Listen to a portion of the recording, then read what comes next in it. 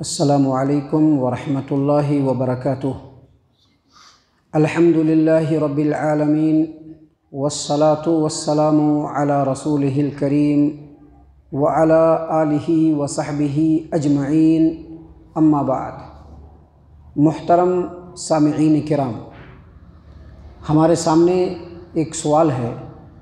सवाल के करने वाले हमारे एक मुआज़ दीनी भाई हैं।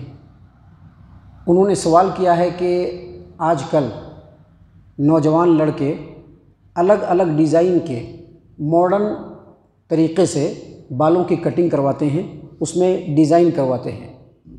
सवाल ये है कि क्या ये इस्लाम में, दीन इस्लाम में ये सही है? इसके बारे में वजाहत फरमाइए।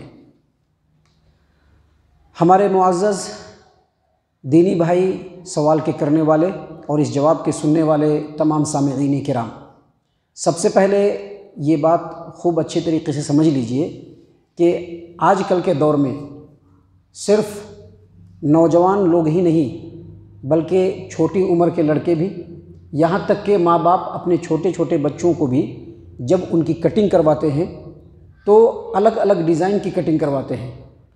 मॉडर्न तरीक़े से बालों के अंदर डिज़ाइन करवाते हैं कुछ नौजवान इस अंदाज़ में बाल कटवाते हैं कि चारों तरफ़ से मशीन से बिल्कुल ट्रिम करवा लेते हैं और बीच में सिर्फ़ बाल होता है। तो ये समझ लीजिए कि ये जो तरीक़ा है, बिल्कुल ही इस्लाम के अंदर नाजायज़ है, सख्त नाजायज़ है। गैर मुस्लिम कुफ़ार मशरकिन, यहूदी और ईसाई लोग, फ़ासिक व फाजिर लोगों का ये तरीक़ा है और सुन्नत के बिल्कुल ख़िलाफ़ अमल है। इस सिलसिले में प्यारे रसूल सल्लल्लाहु अलैहि वसल्लम की हदीस है।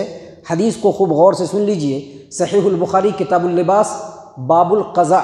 हदीस नंबर पाँच हज़ार नौ सौ इक्कीस।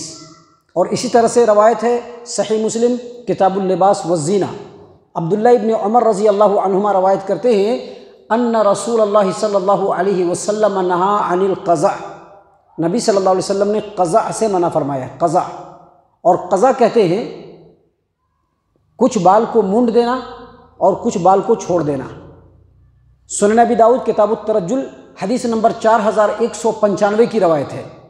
नबी अकरम सल्लल्लाहु अलैहि वसल्लम ने एक लड़के को देखा। उसके आधे बाल मुंडे हुए थे और आधे बाल उसके मौजूद थे। आप सल्लल्लाहु अलैहि वसल्लम ने मना फरमाया और कहा कि या तो पूरे बाल को मूंड दो या पूरे बाल को रख लो। प्यारे रसूल सल्लल्लाहु अलैहि वसल्लम ने मना क्यों फरमाया? नबी सल्लल्लाहु अलैहि वसल्लम ने मना इसलिए फरमाया कि ये अंग्रेज़ों का तरीक़ा है, यहूदी, ईसाई लोगों का तरीक़ा है, फासिक व फाजिर लोगों का तरीक़ा है। अल्लाह तबारक व ने जो इंसानों को खूबसूरत बनाया है, वैसा बाल कटवाने के बाद इंसान अच्छा नहीं दिखता है, बहुत ही बुरा दिखता है। सामीन कराम आजकल आप देखेंगे, बाल कुछ लोग इस तरह से कटवाते हैं कि ये पीछे से गर्दन की तरफ़ से इतना मूड देते हैं और फिर यहाँ से बाल पूरा होता है।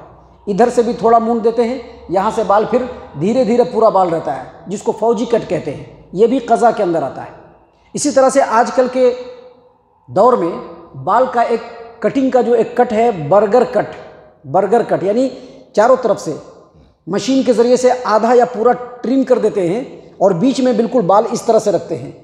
ये भी शरीयत के अंदर कज़ा है और नबी अकरम सल्लल्लाहु अलैहि वसल्लम ने इससे सख्ती से मना किया है और मना करने की वजह बस यही है कि ये यहूदू, यहूदी, ईसाई, अंग्रेज़ों का तरीक़ा है, फासिक फाजिर और नाफरमान लोगों का तरीक़ा है और मुसलमानों को उन लोगों के तरीक़े की नक्काली करने से हर हाल में बचना चाहिए।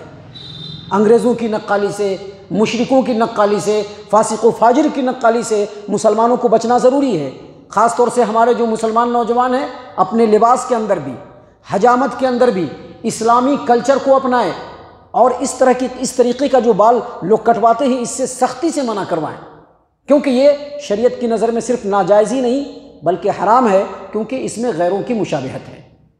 अल्लाह ताला से दुआ है कि अल्लाह तबारक व हम तमाम को इन तमाम बातों के ऊपर खूब खूब गौर फ़िक्र और तदब्बर करने के साथ साथ इन बातों के ऊपर अमल करने की तोफ़ी इनायत फरमाए। आमीन।